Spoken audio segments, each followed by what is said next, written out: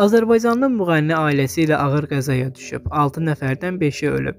Tanınmış gənc müğənni Ülviyə Sədaqət uzun illərdən sonra ATV telekanalında Nana Ağalmaliyevin verilişinin qonağı olub. Milli.az xəbər verir ki, xanım müğənni uzun illər efirlərdən uzaq düşməsinin acı səbəbini açıqlayıb. Bir zamanlar perspektiv vəd edən səs sahibi kimi göstərilən Ülviyə uzun zamandır efirdə olmamasının səbəbi barədə danışarkən məlum olub ki, müğənni 13 il əvvəl ağır qəzada anasını itirib. Bu hadisə 2010-cu ildə baş verib. Anamı bütün sənət adamları, bütün televiziya işçiləri tanıyırdı. Çünki hər yerə anamla gedirdim.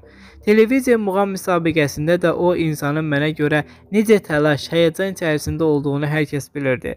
Bu hadisə də hamıya təsir etdi. Həmin gün bir toy şənliyinə qatılmışdım. Oradan geri dönərkən avtomobil qəzasında anam dünyasını dəyişdi. Özüm də 14 gün komada qaldım. Sükan arxasında da mən özüm idim. Qəza qala yolunda 4 yol deyilən ərazidə baş verdi. Mən 90 sürətlə gəlirdim. 200 sürətlə də digər avtomobil gəlirdi və qarşı yoldan bizim üstümüzə gəldi. Qabaqda mənim yanımda qonşumuz əyləşmişdi. Anam mən tərəfdə arxa arxada əyləşmişdi. İnanırsınız ki, o hadisəni mən xatırlamıram. Qarşı avtomobilin sürücüsü içkili vəziyyətdə olub. Hadisədən sonra məni aparmışdılar Sapuncu xəstəxanasına. Orada demişdilər ki, heç nəyi yoxdur, amma kapilyalar hamısı partlamışdı. Beynimə zəhərlənmə vermişdi.